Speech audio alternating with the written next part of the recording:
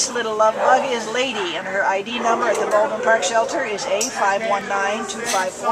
She's a little uh, female terrier mix, uh, only about two years old, and came in as an owner surrender on June 22nd. Uh, we don't have a reason.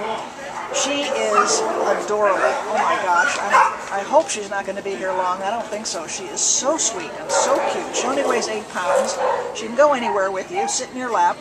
And she's already bonded with Shizuka here. She's been out of her kennel like you know, just a few minutes, and she's just looking for protection and looking for a lap to sit in. Uh, she was turned in on the 22nd, so she hasn't had time to adjust, and she's very scared, right, Shizuka? Yeah, she's really sweet. Look at that! Oh my gosh! Cute. You are so cute.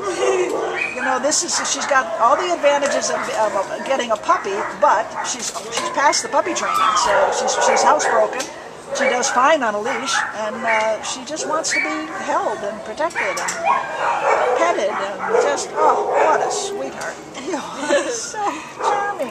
Look at it. Look at you! Look at your face! Look at that little face, that little note. Yep, back in the lap.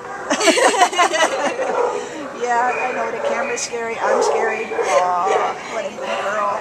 This is Lady. Please come on down to the Baldwin Park Shelter and meet her. And you, I don't know, come fast because I don't think she'll be here long. She is darling, darling girl. Oh, but come and get her. Get her out of here. Right, baby?